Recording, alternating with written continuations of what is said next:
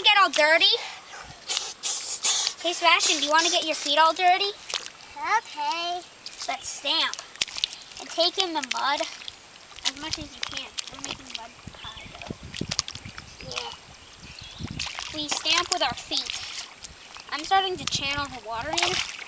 Now, you're in charge of the supply.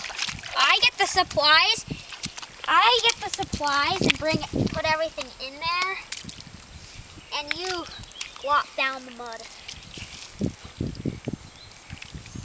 We just put mud in there using our hands.